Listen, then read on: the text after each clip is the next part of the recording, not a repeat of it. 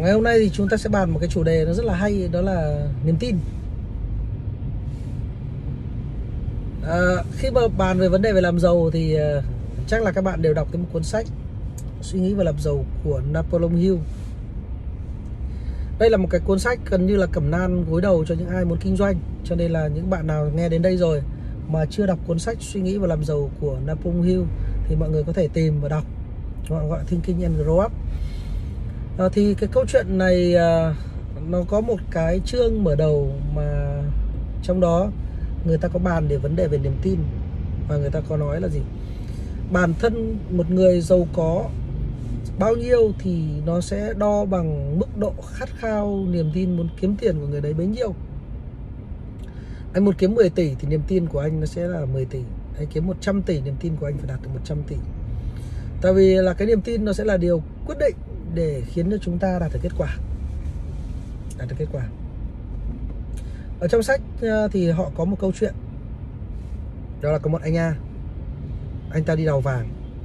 Đầu tiên là anh ta đào được mạch vàng và anh ta rất là sướng. Anh ta mời mọi người tham gia và cùng đầu tư. Và anh ta tính toán là trong vòng 2 năm được cứ khai thác đều đặn, anh ta sẽ lãi được rất nhiều tiền. Nhưng mà sau khi khai thác được ờ, một vài lần, mạch vàng đã biến mất mạch vàng biến mất đấy rồi và anh ta thấy là càng đào càng không thấy vàng. Sau đó thì ờ, anh ta cảm thấy là chán nản và bán lại mạch vàng đấy cho một ờ, người B. Người B này thì ờ, là một người rất thông minh. Anh ta đi hỏi một chuyên gia địa chất xem là tại sao đào thấy vàng rồi mà lại mất mạch vàng. Thì chuyên gia về địa chất nói đơn giản, đó là sự đứt gãy về mạch mò của trái đất và như vậy thì vàng nó vẫn nằm ở đấy thôi, nhưng nó sẽ dịch đi ra chỗ khác một tí. Và sau đó thì ờ, ông ờ, địa chất này ông ta đo đạc và tính toán. Ông ta chỉ ra là cái chỗ mạch vàng nó chuyển đến chỉ cách cái chỗ mà người ta đương đào, nó có ba bước chân thôi. Và từ đó dẫn đến một việc là cái người B này mới mua lại cái mỏ vàng đấy, và sau đó kiếm được rất nhiều tiền. Và câu chuyện ở đây là câu chuyện về niềm tin. Tại vì anh B đấy, anh tin là nó vẫn còn vàng. Và anh ta quyết định là phải hỏi chuyên gia trong lĩnh vực đấy trước khi là anh ta quyết định từ bỏ. Còn anh A, anh ta thiếu mất niềm tin. Anh ta không hỏi ai cả và anh ta nghĩ rằng là gì?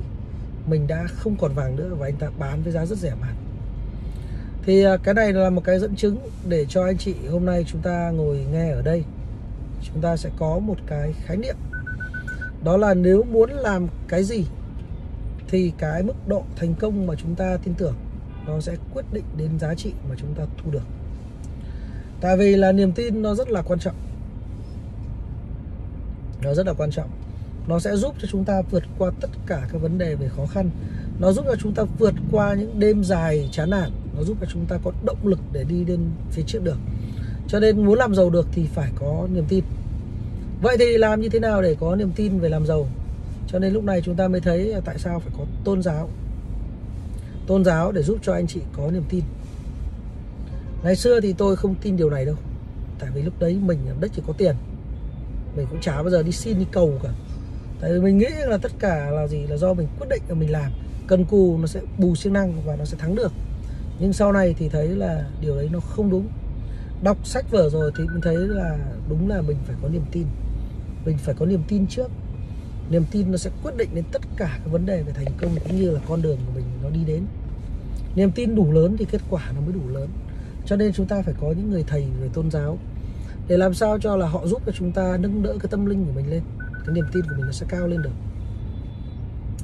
Vì đôi khi là chúng ta không thể nhìn ra được là cái kết quả mình đạt đến nó sẽ lớn thế nào đâu. Chúng ta sẽ có những người người ta chỉ cho mình nó có thể lớn đến đâu.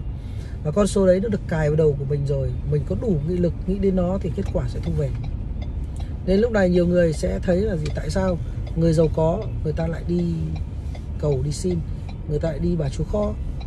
Tại vì thực tế ra là tất cả mọi thứ nó đều phải có niềm tin trước. Niềm tin rồi thì chúng ta mới tìm đủ mọi cách để giải quyết được niềm tin đấy.